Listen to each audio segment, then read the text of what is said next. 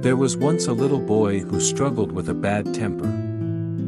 One day, his father handed him a bag of nails, and asked him to hammer a nail into the back fence, every time he lost his temper.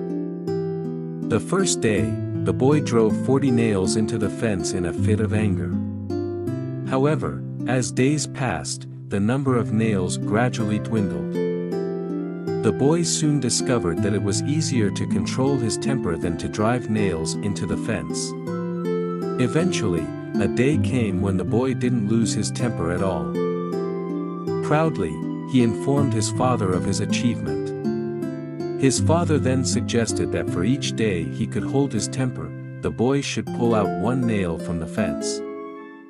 Days turned into weeks, and the boy was finally able to tell his father that all the nails were gone. His father, pleased with his son's progress, took him by the hand and led him to the fence. He pointed out the holes left behind by the nails and said, You've done well, my son, but look at the holes in the fence. The fence will never be the same. Just as when you say things in anger, they leave scars, much like these holes. No matter how many times you apologize, the wounds don't fully heal. The boy learned a valuable lesson that day, the impact of his words in anger can cause lasting damage, much like the holes in the fence.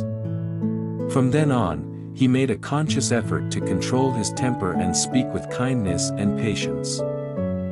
Therefore, it is essential to control one's temper and speak with kindness and patience to avoid causing harm to others. Before you go, remember to subscribe and hit the bell icon. Your support is what keeps this channel thriving. And check out our previous stories. Share your favorite moments from today's story in the comments below. We love hearing from you.